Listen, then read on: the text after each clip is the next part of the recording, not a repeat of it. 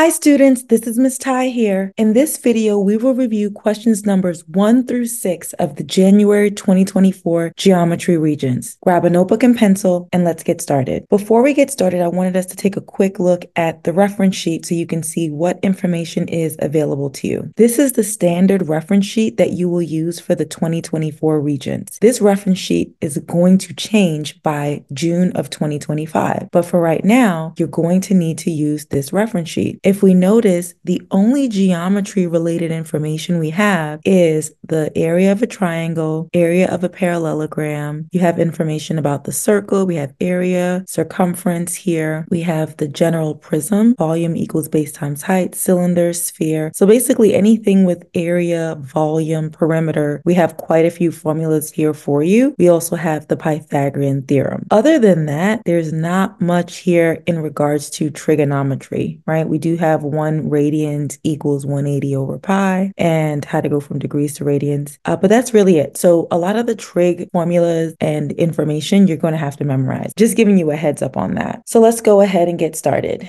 Question number one Which expression is equal to sine 30? In general, there's a rule that the sine of A is equal to the cosine of B. What that means is if I have a right triangle, meaning one of the angles is a 90 degree angle, and then we have two remaining angles that are complementary, let's say this is 30 degrees and this is 60 degrees. The sine of 30 degrees is going to be equal to the cosine of 60 degrees. Let's take a look at the sides. In any 30, 60, 90 triangle, the side opposite 30 will be 1. The side opposite 60 is root 3, and the hypotenuse is 2. So this is our 1 root 3, 2 triangle, and it always accompanies the 30, 60, 90 triangle. Remember, if triangles are similar, you can scale it up. So this can be 2, 2 root 3 and 4. They can be 5, 5 root 3 and 10, and so on and so forth. So if we take a look, since we know that the sine of an angle is the opposite over the hypotenuse, the the sine of 30 degrees here is 1 over 2, so that's 1 half. But the cosine of 60 degrees is going to be the side that's adjacent to 60, which is also going to be 1, and the hypotenuse will be 2. So 1 half equals 1 half. So in this problem, it says which expression is equivalent to the sine of 30 degrees. We know that it's going to be the cosine of 60 degrees. We didn't really need to do any math for this. As long as you remember the rule that the sine of A equals the cosine of B, you will get this question correct. Let's continue. Number two, two. In the diagram of triangle SRA below, line segment KP is drawn such that angle SKP, which is this angle right here, and angle SRA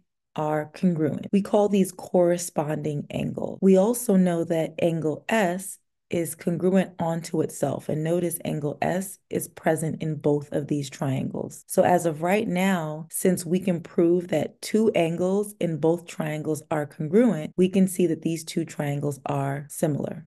Now let's label our diagrams. If SK is 10, SP is 8, and PA is 6, what is the length of KR to the nearest 10th? I went ahead and pulled out the triangles so you can see them separately. So we will label our triangles accordingly. So we have 10 over here, 8 over here, 14 over here, and we're going to label line segment SR 10 plus X. Since we were able to prove that two corresponding angles in both triangles are congruent, these two triangles are similar. Therefore, corresponding sides are proportional. This means we can set up a proportion to solve this problem. We will have 10 over 8, right? So I use the slant side on the left over the slant side on the right of the smaller triangle is equivalent to 10 plus x over 14. This is the slant side of the bigger triangle on the left over the slant side of the bigger triangle on the right. Now that we have our two ratios, we're going to cross multiply. We have 8 times 10 plus x equals 10 times 14. So 8 times 10 is 80 plus 8x equals 140. Our next step is to subtract 80 on both sides. So we have 8x equals 60. Finally, we will divide by 8 on both sides. So to find the value of x, we need to divide 60 by 8. 8 into 60 goes 7 times. We will have a remainder of 4. 40 divided by 8 is 5. Therefore, line segment KR is equivalent to 7.5. Let's continue. A rectangle is graphed on the set of axes below, a reflection over which line would carry the rectangle onto itself. When I think of this type of question, it's almost like identifying what is the line of symmetry.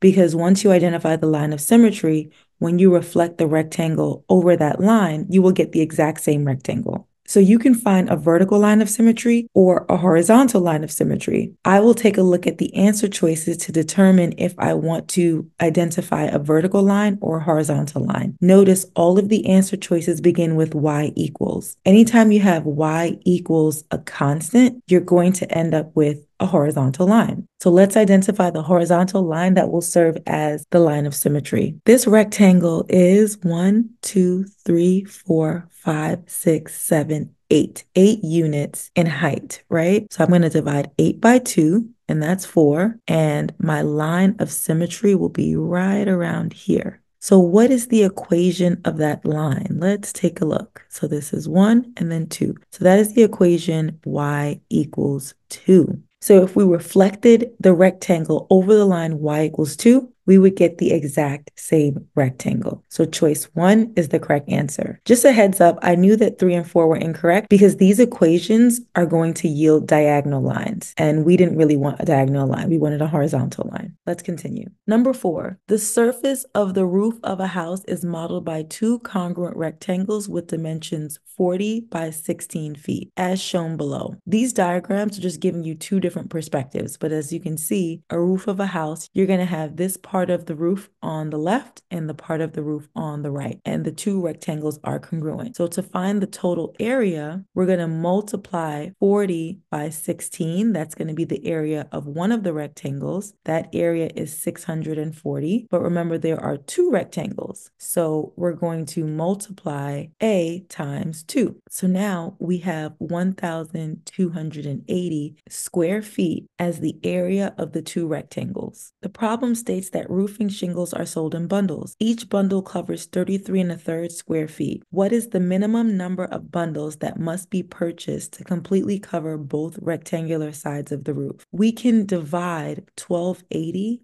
by 33 and a third to determine the number of bundles that will be needed. This is the same thing as saying 1280 divided by 100 over 3. And we know when we divide by a fraction, we keep, change, flip. So we have 1280 times 3 divided by 100. I will cancel out this 0 right here, and then we will have 128 divided by 10, which is 12.8. So our final answer is going to be 12.8, right? That's 128 divided by 10 times 3. When we multiply 12.8 times 3, we end up with 38.4. Recall that the question asks what is the minimum number of bundles that must be purchased to completely cover both rectangular sides of the roof. We can't really purchase 38.4 bundles, so we're going to have to round up to 39. So answer choice 3 is the correct answer. Let's continue. Number five, which equation represents a line that is perpendicular to the line whose equation is y minus 3x equals 4? Recall that the slope of perpendicular lines are opposite reciprocals. What that means is if one slope is positive, the other one's going to be negative.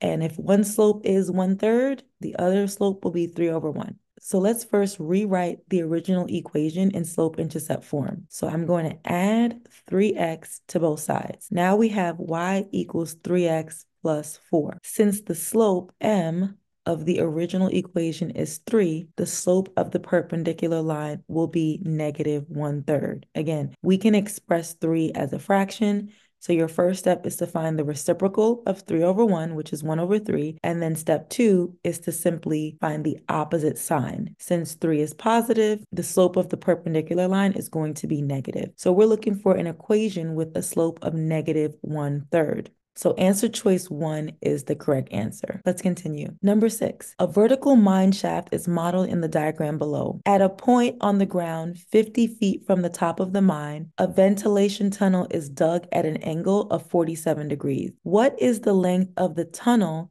to the nearest foot. When we look at this diagram, we have a right triangle here, which means we can use trigonometry to solve. We have an angle of 47 degrees. We have a line segment that's 50 feet long and we're looking for the hypotenuse. Notice the 50 foot line segment is adjacent to the angle of 47 degrees. So which trig ratio incorporates the line segment that's adjacent to the angle and the hypotenuse? That is cosine. So cosine of 47 degrees equals adjacent over hypotenuse, which is 50 feet over x. I like to turn this into a proportion by placing cosine 47 degrees over 1. We now have x times the cosine of 47 degrees equals 1 times 50, which is 50. To solve for x, we will divide both sides of this equation by the cosine of 47 degrees. We will cancel that out, and now we need to find our final answer. Let's take a look at our calculator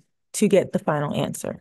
So let's calculate. Make sure your calculator is in degrees. That's really important because we're not talking about radians here. So you're going to click on mode and you're going to go down to ensure that it's in degrees. Okay. So now we have 50 divided by the cosine of 47 degrees. And let's see what our answer is. We have 73.31395928. But because the question is telling us to round to the nearest foot, our final answer is going to be 73 feet. So choice four is the correct answer. If you learned something in this video, please go ahead and like, comment, share, and subscribe, and I'll see you in the next video.